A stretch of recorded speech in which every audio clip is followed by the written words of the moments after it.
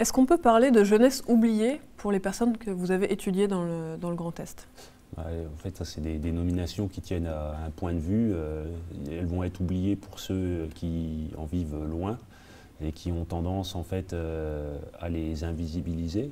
Euh, mais par contre, pour les, jeunes ruraux, ceux, qui restent, ceux auxquels je me suis intéressé dans mon livre, j'ai voulu insister sur le fait que eux, leur, leur, centralité, là où ils vivent et là où ils accordent de l'importance aux choses, ça reste le milieu rural dans lequel ils ont grandi.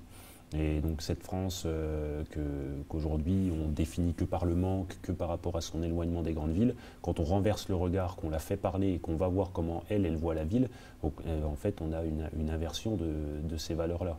Et on peut euh, dire que parfois l'aménagement territorial ou l'économie locale, elle est délaissée par un peu le pouvoir central, par euh, l'économie globalisée.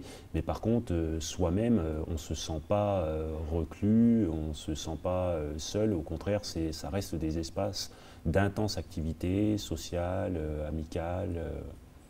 voilà, tout ça, c'est des questions de point de vue. Et l'enjeu un peu des sciences sociales, c'est de, de, le renverser.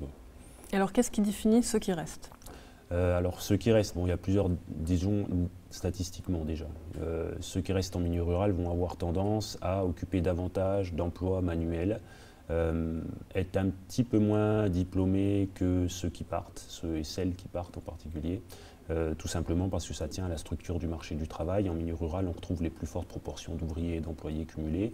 Et on a un peu un tableau inverse, si vous voulez, du centre de Paris. On a des faibles taux de profession et cadres et d'intellectuels supérieurs, du, supérieur, euh, et de fortes proportions de ce qu'on appelle en sociologie les classes populaires.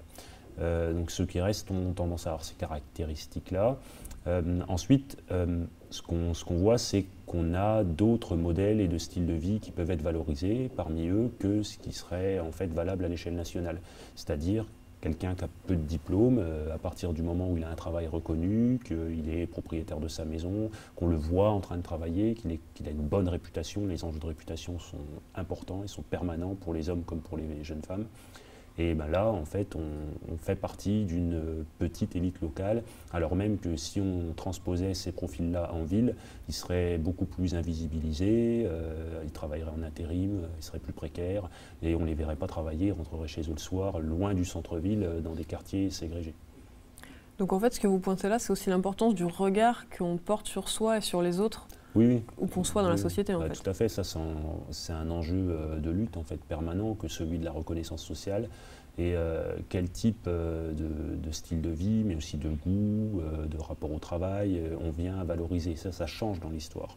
Et c'est, par exemple, le fait d'être ouvrier, selon les époques, c'est quelque chose de plus ou moins valorisé, selon notamment chez les jeunes, les vingtenaires et les trentenaires que j'observe, selon que le modèle estudiantin, le fait de faire des études longues est plus ou moins légitime là où vous vivez. Et alors, est-ce que ceux qui restent, que vous mm. avez donc euh, décrits, c'est aussi ceux qui ont constitué les Gilets jaunes?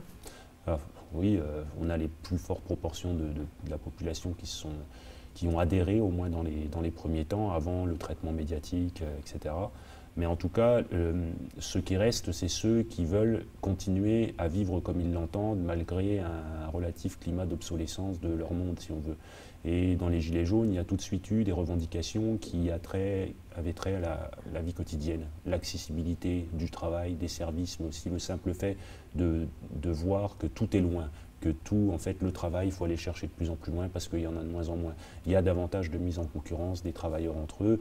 Ce qu'on peut plus revendiquer au travail, là, on pouvait le faire chez les Gilets jaunes. Et après aussi, dans, le, dans la continuité du mouvement des Gilets jaunes, ceux qui ont euh, tenu euh, tout l'hiver euh, dans le froid, qui se sont mobilisés malgré que ça devenait plus ou moins euh, contradictoires euh, dans la population locale. Il y avait aussi euh, des contre-gilets jaunes. voilà, c'était conflictuel comme, scène sociale.